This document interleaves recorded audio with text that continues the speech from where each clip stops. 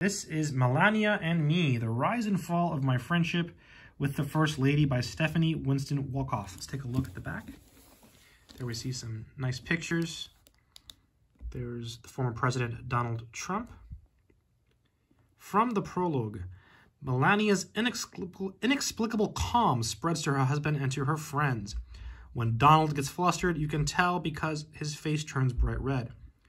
All he has to do is look at her and he settles down. I've seen it happen across the dinner table and at press conferences. I've felt Melania's calm spread to me when I've been upset and crying. One arched eyebrow or word from her could ground me. From the moment Melania entered my life, I was drawn to learn more about her, and sometimes succeeded. I do know that she is honest, is loving, prizes her privacy above all things, and is faithful to her core values in ways Donald could never be. Wow. Let's just take a look. Oh, a lot of pictures. I didn't expect... You know, a lot of these times, these, these books, they don't really have a lot of pictures. Look at this. This is the office of the First Lady of the United States. This is the White House, the East Wing.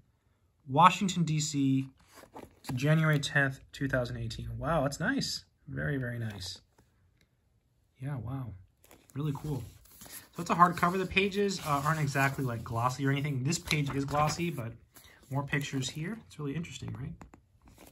Yeah, I think this is an interesting book. Um, you know, if you're interested in, you know, some personal details about, you know, the former First Lady and perhaps, you know, some things regarding the former president, um, you know, you have a lot in this book. There's a lot. It's a book, right? I'm just looking at the pictures because the pictures are fun.